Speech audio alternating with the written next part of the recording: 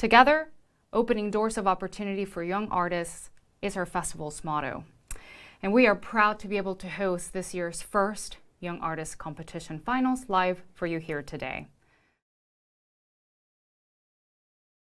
Category C first prize winner, Ekaterina Ivanova from Russia, who is nine years old, winning a festival's cash prize and will be represented in concert by B Music Finland Artists Management.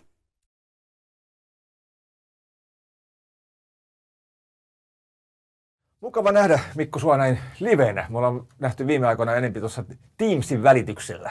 Kiitos samoin Akira.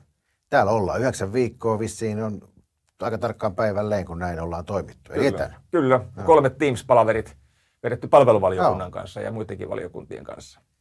Hyvin on mennyt ja ollut yllättävän helppoa. in the sound check. Five minutes before the concert, it was raining like hell, and people with their umbrellas. I thought nobody's going to stay. Everybody was there like this. Another shock for me. Wonderful. It was it was fantastic. yeah.